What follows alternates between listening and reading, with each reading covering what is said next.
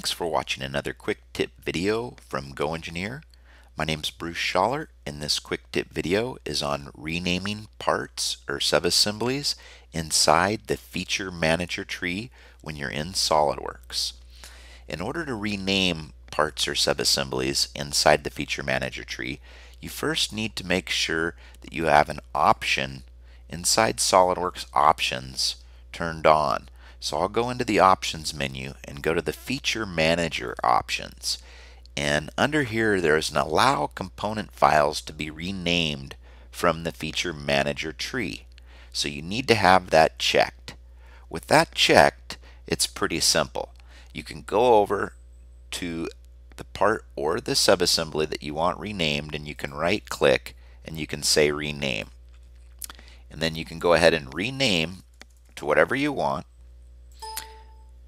And from there, you could go ahead and save the part or save the assembly in this case. If I did save the assembly, it would show me that the skid plate with logo was renamed to skid plate and that's what's being saved now. The only thing that's being saved because that's what's changed. I'm going to cancel out of that and then show you another option.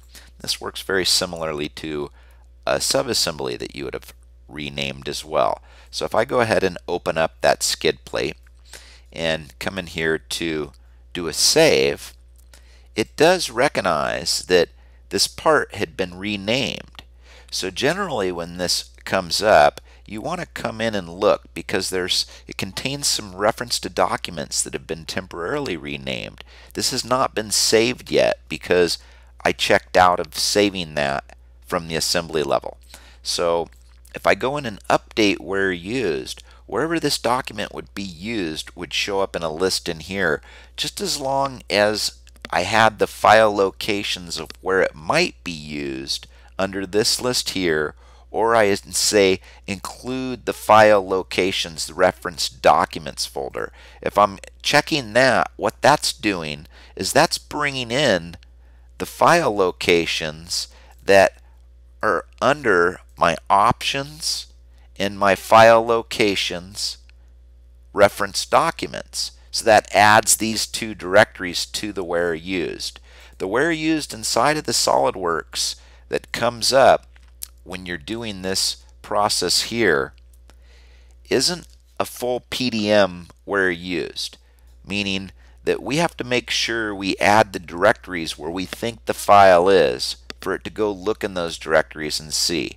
But again, this newer process from 2016 and above will capture the where used and allow you to rename it in that location or not.